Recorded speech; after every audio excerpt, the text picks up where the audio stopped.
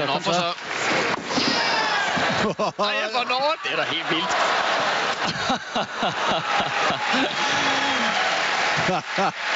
Han ligger altså inde på øh, Lisa Ways banehalvdel med et stort smil på læben. Det er udmærket, det der. Det er underholdning. Til den malaysiske træner, jeg kunne godt se mig morsomt.